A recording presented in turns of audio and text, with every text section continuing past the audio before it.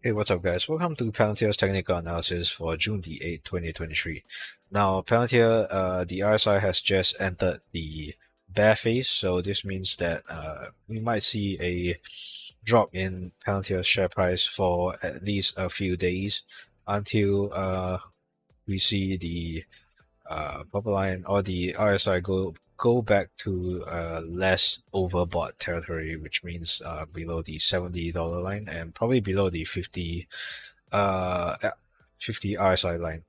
And the 20 MAs uh, seem to support that it's curling down a little bit. It's not um, as bullish as it was a few days ago. Uh, and the MACD histogram has been decaying substantially. Um, once we see the exponential moving averages um, curl down, we'll start seeing uh, a more bearish momentum in the stock price.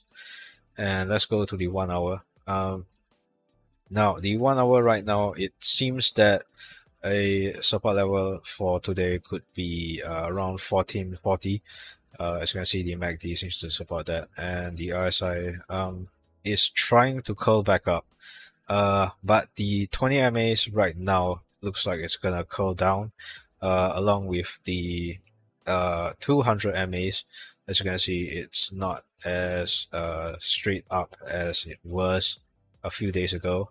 Um, there's a joke in there somewhere. Okay, so now the one minute right now, uh, again, it's very hard to tell on the one minute uh, anything can happen in the one minute. So again, I, I still think uh, it's possible that it'll bounce off this 14 uh, 40 uh, line today once again for the last time and then we might start seeing bearish uh, movement in the stock price so um, if you're if you just got in yesterday I, I think you should really you should uh, I, I'm not sure if you want to sell it I, I can't tell you what to do, but um, I, I think you should prepare for a drop in price. Um, so once again, uh, what are my price targets?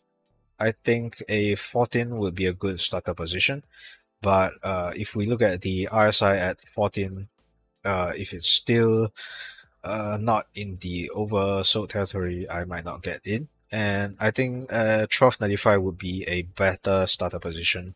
Um, we are gonna have to look at the MAs uh, for that position. And if it goes below 1195, um, we are gonna have to relook at the stock, see what's wrong, see if there's anything we should uh, prepare for. So uh, thanks for watching, guys. Have a nice day. Stay safe.